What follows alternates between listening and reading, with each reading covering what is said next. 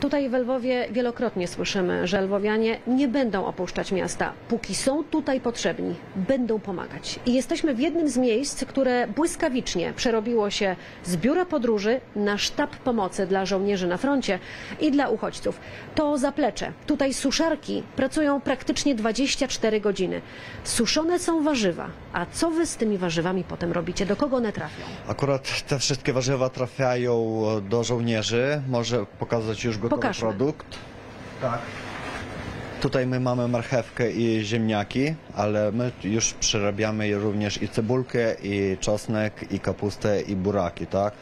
Dlaczego to się robi? Bo z tego jest łatwo przyrządzić szybko wyżywienie. Nie było wątpliwości, kiedy zamykaliście biuro podróży tymczasowo, a otwieraliście sztab kryzysowy? Zupełnie nie było. My musimy to robić, bo my znamy dlaczego my to robimy. Wszyscy walczą o swoją ziemię. Tylko tak i nie inaczej. To zatem pokażmy, jak wygląda to biuro podróży, które teraz jest sztabem kryzysowym. Mamy na przykład stanowisko, gdzie. Oj, przepraszam. Mamy stanowisko, gdzie cięte są materiały, z których potem robione są siatki maskujące. One potem trafią na front. Tutaj cięte są tylko materiały. Idziemy dalej. Tutaj mamy kolejne. Całe kartony. Co w tych kartonach jest? Akurat w tych kartonach to jest odzież dla uchodźców. My przebieramy to wszystko i to jest, co jest dobre, to my akurat e, odkładamy po różnych wiekach. Tutaj widzimy kolejny wolontariusz, który tnie paski na siatki maskujące, ale mamy też kartki, które trafiają do Was z darami z Polski.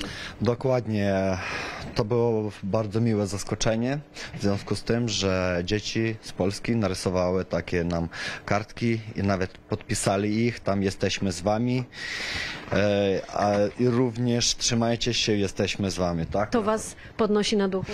Tylko tak. A, a i akurat takie kartki jeszcze trafiają na front do żołnierzy i dla nich to jest bardzo fajny stymuł i oni rozumią, że mają podtrzymkę nie tylko z Lwowa, ale i ze świata, z, dokładnie z Polski w tym wypadku. Mamy tutaj paczki, które bezpośrednio trafiają na front. To są paczki dla kogo i dla ilu żołnierzy one wystarczą? Co w nich jest? Akurat taka paczka jest e, dwójka, trójka żołnierzy i w takiej paczce są, e, jest wyżywienie, jest, są e, higiena osobista, a również jakaś odzież. A czego najbardziej na froncie w tej chwili brakuje? Czy to jest rzeczywiście tak, że najbardziej pilną potrzebą są leki? E, tak.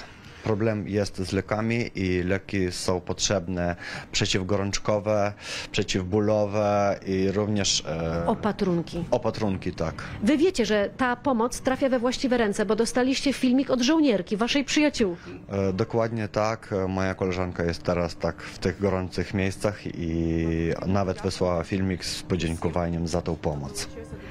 Trzymamy kciuki, że e, wszystko się uda i że te operacje, nie dotyczące turystyki, ale podniesienia pomocy żołnierzom na froncie, będą e, cały czas skuteczne. Uda się ominąć checkpointy, uda się ominąć kontrolę i że te paczki, wszystkie, które tutaj się znajdują, trafią we właściwe ręce.